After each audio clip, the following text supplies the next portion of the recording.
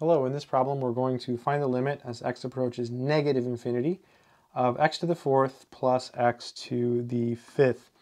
And so let's just think about what's happening here. So basically um, this here is going to be positive, okay, because um, it's to the even power.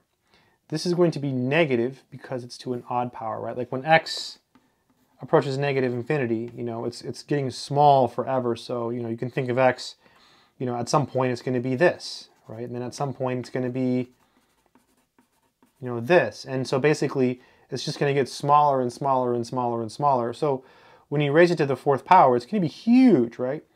Raise it to the fifth power, it's going to be even bigger, except because it's odd, it's actually going to be negative. So this is an overpowering term.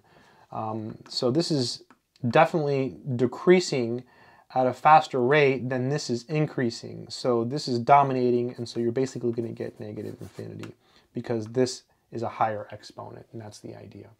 Hopefully that made sense. Good luck.